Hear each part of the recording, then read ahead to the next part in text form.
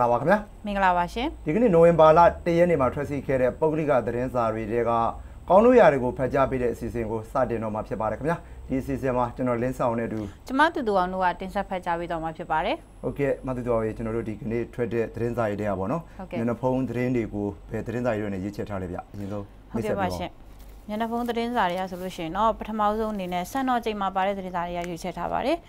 ရန်ကုန်ပြည်သူစေယုံကြီးပြည်သူများအားကိုးရာစေယုံကြီးဖြစ်လာလိုချင်သည့်အဆင့်တန်းထိမရောက်သေးဘူးတိုင်ပင်ခံပုဂ္ဂိုလ်ပြောတဲ့ဒါတော့ရန်ကုန်ပြည်သူစေယုံကြီးဒီပြည်သူအများအားကိုးအပြုရဆုံးစေယုံကြီးအဖြစ်ပြန်လည်ရောက်ရှိလာပြီးဆိုနိုင်တော့လဲလိုချင်သည့်အဆင့်တန်းထိမရောက်နိုင်သေးကြောင်းနိုင်ငံတော်အတိုင်ပင်ခံပုဂ္ဂိုလ်ဒေါအောင်ဆန်းစုကြည်ကအောက်တိုဘာလ31ရက်နေ့မှာပြောကြားထားတာကိုရေးသားဖော်ပြထားတာပါဟုတ်ကဲ့ပါခင်ဗျာ နောက်တစ်ပုတ်အနေနဲ့မြန်မာတိုင်းမှာပါတဲ့လုတ်ပိုင်ခွင့်အာဏာအလွဲသုံးစားလုပ်သည့်ဒုတိယညွှန်ကြားရေးမှုနဲ့စီရေးတူတို့ကိုအဂတိလိုက်စားမှုတိုက်ဖြတ်ရေးဥပဒေဖြင့်အမှုဖွင့်ဆိုတဲ့သတင်းလေးရဲ့ဒါကတော့လုတ်ပိုင်ခွင့်အာဏာအလွဲသုံးစားလုပ်ခဲ့သည့်မန္တလေးတိုင်းဒေသကြီးကျေးလက်ဖွံ့ဖြိုးရေးဦးစီးဌာနမှငွေထုတ်ရာရှိတိုင်းဦးစီးမှုဒုတိယညွှန်ကြားရေးမှုဦးအောင်မြင့်ကျော်နဲ့ဌာနခွဲစီရေးဒေါ်သူစာတို့ကိုတဲ့အဂတိလိုက်စားမှုတိုက်ဖြတ်ရေးဥပဒေဖြင့်အမှုဖွင့်ရေးယူလိုက်ကြောင်းအဂတိတိုက် အဂတိလိုက်စားမှုတိုက်ဖြတ်ရေးကော်မရှင်ကအောက်တိုဘာလ31ရက်နေ့တွင်ရေးသားဖော်ပြထားရလည်းဖြစ်ပါတယ်ဟုတ်ကဲ့ပါဗျနောက်တစ်ပုတ်အနေနဲ့ daily level မှာပါတဲ့နှစ်နိုင်ငံသဘောတူညီမှုအရာဘင်္ဂလီ2000ကျော်အားနိုဝင်ဘာလ15ရက်နေ့မှာစရပြန်လည်လက်ခံမည်ဟုပြည်ထောင်စုဝန်ကြီးပြောကြားဆိုတဲ့သတင်းကောင်းစဉ်လေးရဖြစ်ပါတယ်။ဟုတ်ကဲ့ဒါကတော့ဒီနေ့ ညနေဖုန်းနေမှာပါတဲ့သတင်းကောင်းစဉ်တွေကရွေးချယ်ထားရလည်းဖြစ်ပါတယ်။အိဒါအဘောဘယ်ထက်ကရွေးချယ်ထားသေးလဲအဲဟုတ်ကဲ့မတူတော်ရေကျွန်တော်ဒီဒီထွက်တဲ့သတင်းစာတွေကပေါ့နော်ကျွန်တော်ဒီ The White သတင်းစာတွေကပေါ့နော်ကျွန်တော်ဒီအရေးချင်းကိစ္စဆိုတဲ့ဒါ editor အဘောပေါ့နော်ကျွန်တော်ရွေးချယ်ထားပါတယ်ဗျအဲ့တော့ဒီနေ့မြန်မာနိုင်ငံမှာတဲ့ဒီအစိုးရအဆက်ဆက်အကောင့်တွေဖော်လှုပ်ဆောင်နေတဲ့လုပ်ငန်းတွေကိုကြည့်မယ်ဆိုရင်အရေးချင်းထဲတဲ့အရေးအတွက်ကိုဥတီတဲ့သဘောတွေ့နေရပါတယ်တဲ့ လူစွမ်းအားအရေးမြင့်နေပယ်နဲ့အခြေခံအဆောက်အအုံကဏ္ဍတွေမှာရှိနေတဲ့အင်အားအခြေခံပစ္စည်းတွေကိုကြည့်မယ်ဆိုရင်လည်းဒီအတိုင်းပဲတွေ့ရမှာပါတဲ့လုပ်ငန်းနယ်ပယ်လေးတစ်ခုရင်းစီကိုကြည့်မယ်ဆိုရင်လည်းပဲအရေးချင်းစီသူအနှဲငယ်သာရှိပြီးအများစုကတော့တာမန်အဆင့်အပျော်တန်းအဆင့်နဲ့ဒါဒီ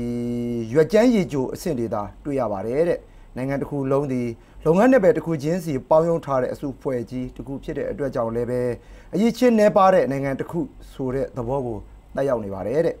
ဒါကတော့သူကဒီလုပ်ငန်းနယ်ပယ်လေးတွေကြည့်ကြည့်ပြီးတော့နော်သူကနိုင်ငံတစ်ခုနဲ့သူကချိတ်ဆက်ပြီးသူကဒီ editor အပေါ်မှာပြောဆိုထားတာပါအဲ့တော့စင်စစ်အားဖြည့်တဲ့မြန်မာနိုင်ငံအတွင်းမှာအလားအလာရှိသူနောက်တစ်ခုကတော့လက်ကျင့်မြင့်တင်ပေးလိုက်လေရင်သူကတော့ထက်မြက်ထူးချွန်လာနိုင်ပွဲရှိတဲ့လူငယ်အများပြားရှိနေပါတယ်တဲ့ အစမ်းသက်ခံပညာရေးစနစ်လူတော်လူချွန်တွေကိုနေရာမပေးဘဲနဲ့ကြောင်ထိုးနောက်တစ်ခုကတော့အသုံးမချပဲနိစက်တဲ့သူတွေကိုသာနေရာပေးတတ်တဲ့တာတူညီ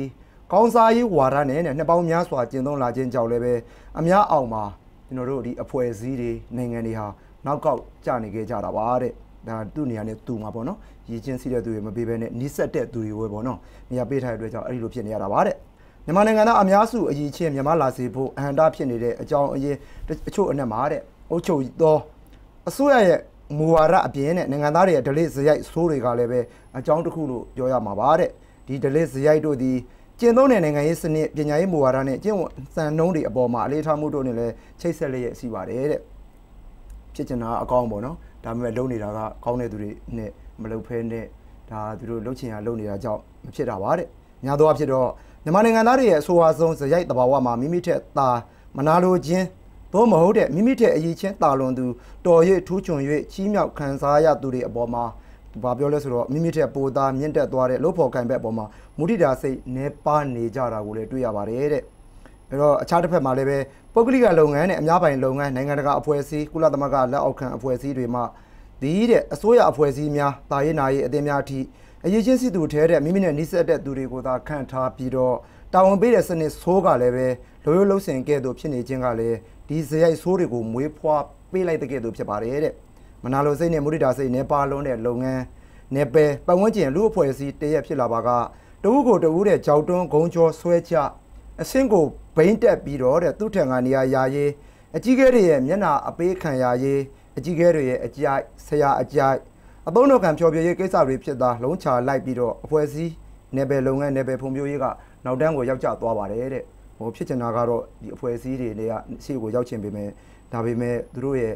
ဒါဘယ်လိုပြောမလို့အထပ်ဖားအောက်ဖိတဲ့သူတွေနဲ့ပဲပေါ့နော်ဒါလက်ပတ်နေသူတွေကတော့ဖြစ်မှာမဟုတ်ပါဘူးတဲ့အကျိုးဆက်ကတော့အတိုင်းအတာတော်တော်များများမှာတဲ့အခုအကက်များတယ်အပားခိုတယ်ရေသာခိုတယ်နောက်တစ်ခုကအချောင်လိုက်တယ်ဖြက်လန်းနည်းကိုသာစိတ်ဝင်စားတဲ့လူဖွဲ့စည်းဖြစ်မှန်းမသိဖြစ်သွားပါတယ်တဲ့ ဒီအခြေအနေတွေကိုထိတ်ဆုံးမှာရှိတဲ့အစိုးရနဲ့အစိုးရအဖွဲ့ဝင်ကြီးတွေတာဝန်ခန့်ပေးထားတဲ့အဆင့်နောက်တစ်ခုကတော့လွှတ်တော်ကိုယ်စားလှယ်ရွေးချယ်ခြင်းအဆင့်ဆင့်မှာစရည်တဲ့အရေးအတွက်ထက်အရေးချင်းကိုဦးစားပေးတဲ့စနစ်နောက်တစ်ခုကတော့လူမှန်နေရာမှာခံထားတာဝန်ပေးတဲ့စနစ်လက်တွေ့စနစ်ကျင့်သုံးခြင်းဖြစ်တာကူစား၍ပြင်ဆင်နိုင်ပါကြောင်းဆိုပြီးတော့မတ်တော်ကြီးဒါကျွန်တော်တို့ the voice ပေါ့နော်ဒီနေ့ trust လာတဲ့တင်းစားထဲမှာပေါ်ပြထားတာပါဗျကျွန်တော်ထင်တယ်ဟိုရုပ်ောက်ပွဲလည်းနီးလာတော့ပေါ့နော်လူမှန်နေရာမှာရောက်ဖို့ရွေးချယ်ဖို့လိုရဟိုကျွန်တော်တို့ဒီ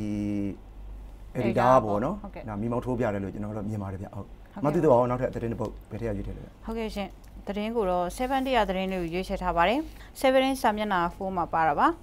ဗဟိုဘဏ်ညွှန်ကြားရေးမှူးချုပ်အမည်လက်မှတ်ပါသည့်ရုံးစာအတူဖြင့်လိမ့်လည်မှုများတွေ့ရှိပါကအနည်းဆက်ဆုံးရဲစခန်းသို့အကြောင်းကြားရန်ဗဟိုဘဏ်တတိပေးဆိုတဲ့သတင်းလေးပါပဲရှင်ဗဟိုဘဏ်ညွှန်ကြားရေးမှူးချုပ်အမည်လက်မှတ်ဖြင့်ရုံးစာအတူပြုလုပ်ရေးလိမ့်လည်ရန်ကြံစည်မှုများရှိနေသည်ကိုတတိထားရန်မြန်မာနိုင်ငံတော်ဗဟိုဘဏ် ဥက္ကဋ္ဌယုံညွှန်ကြားရေးမှူးဦးဝင်းတော်က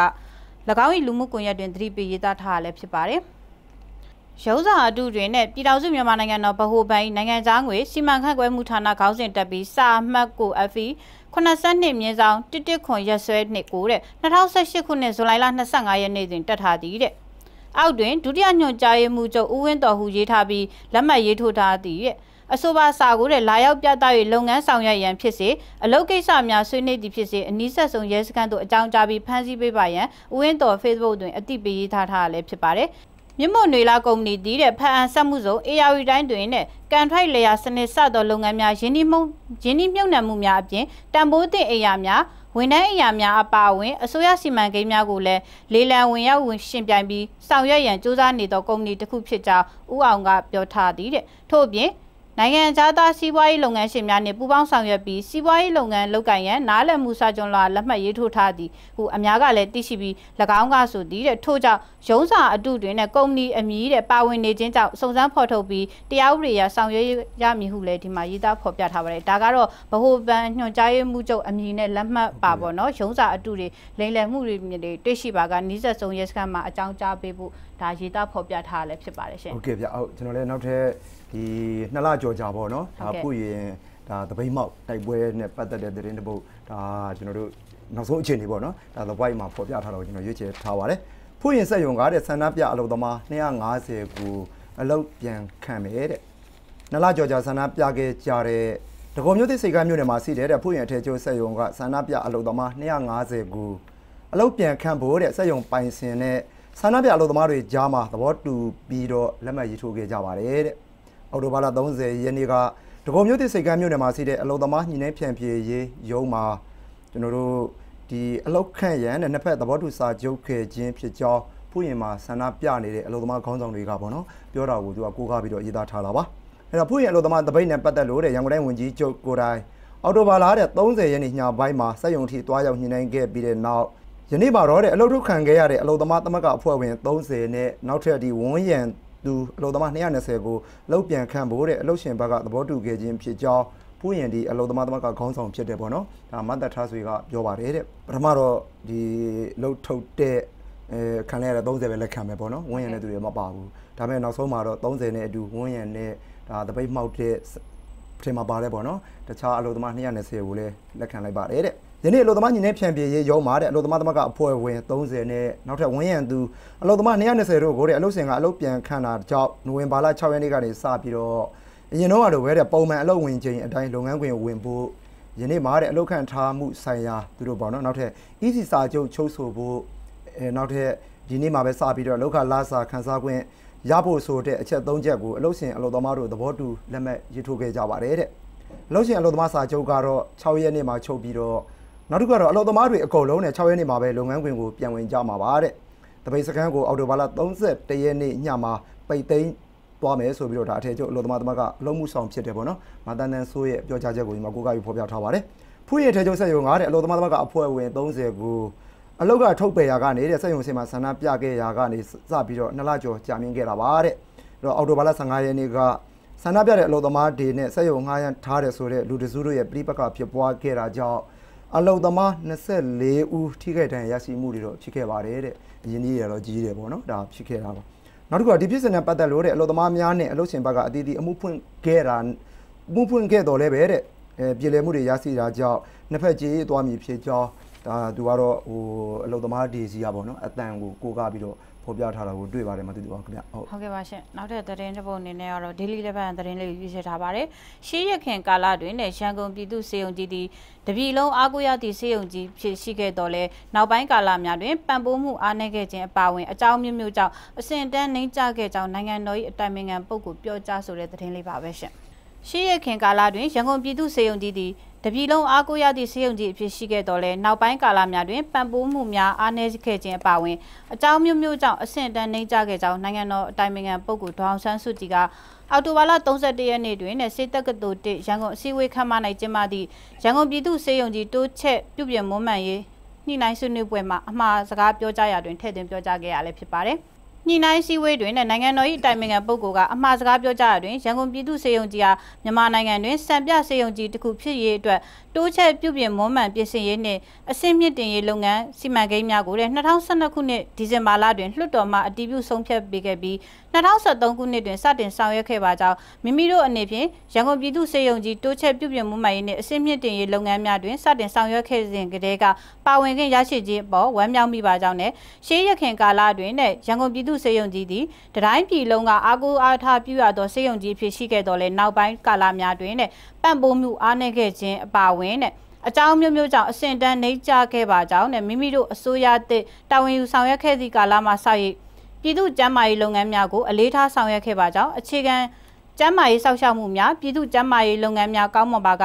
ပြည်သူများအနေဖြင့်စေယုံများတွင်လာရောက်ကုသခံကုသခံယူရမှုပေါ့နော်လိုအပ်ချက်နှဲပါသွားမည်ဖြစ်ကြောင်း ထို့သောစေယုံများတွင်နဲ့တက်ရောက်ကုသခံယူသူသည်တဲ့နှဲပါလာခြင်းသည်စေယုံတက်လူနာတဦးတယောက်ချင်းစီကိုလည်းပြုစုကုသဆောက်ရှောက်မှုမှာပုံမတိကျအဆင့်မြင့်ကားတဲ့ပုံမပြည့်စုံစွာဖြင့်ကုသမှုပေးနိုင်မည်ဖြစ်ကြောင်းလည်းပြောကြားထားပါတယ်။ထို့ပြင်နဲ့လူတဦးတယောက်ဒီတဲ့ဆေးရုံမတက်ရောက်ပါကအကောင်းဆုံးဖြစ်ပါကြောင်းပြည်သူများနာမကျန်းဖြစ်ပွားမှုနှဲပါနိုင်သမျှနှဲပါစေရန်နှင့်ဆေးရုံတက်ရောက်ရသည့်ကျန်းမာရေးအခြေအနေထိမဖြစ်ပွားစေရန်အတွက်ပြည်သူ့ကျန်းမာရေးလုပ်ငန်းများကိုအခြေအခြေခံမှစိုက်ပုံမှုယူဆိုင်ပြီး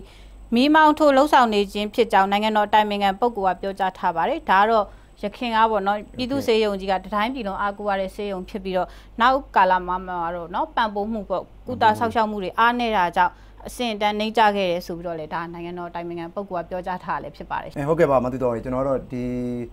သတင်းစာဖတ်တဲ့ကဏ္ဍမှာပါတယ်ပေါ့နော်ဒါကတ်တွန်းခံနောက်ကိုကျွန်တော်ရွေးချယ်ထားပါတယ်ဒါကတော့စံတော်ချိန်တွေကပါကတ်တွန်းဆရာကိုကျော်ရဲ့ကြံကင်းလက်ရလေးဖြစ်ပါတယ်ကိုကျော်ကြံကင်းကဘယ်လိုသရောထားလဲဆိုတော့ကျွန်တော်တို့အခုကထိန်ကာလရာသီမှာအတန်ချက်ဆက်နဲ့ပတ်သက်လို့ပေါ့နော်သူကကောင်းကောင်းမွန်မွန်သရောပြထားတာပါဒါကိုကျွန်တော်တို့ပြည်သက်တွေအားလုံးကလည်းစူးစမ်းနိုင်ပါတယ်ခင်ဗျာ